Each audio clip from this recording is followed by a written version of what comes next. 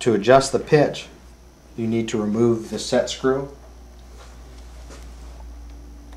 This blocks it from moving so that it can't inadvertently move, but once the set screw is removed, all you do to adjust the pitch is pull the collar forward and rotate it clockwise or counterclockwise and drop it back into place. There is both left, left and right hand rotation. In this application we're using a right hand rotation because that is how the propeller was assembled. So currently lining up with the set screw we are set at 18 degrees right hand rotation. If I needed to change it to 20 degrees I would again pull it forward and rotate it, drop it back into place.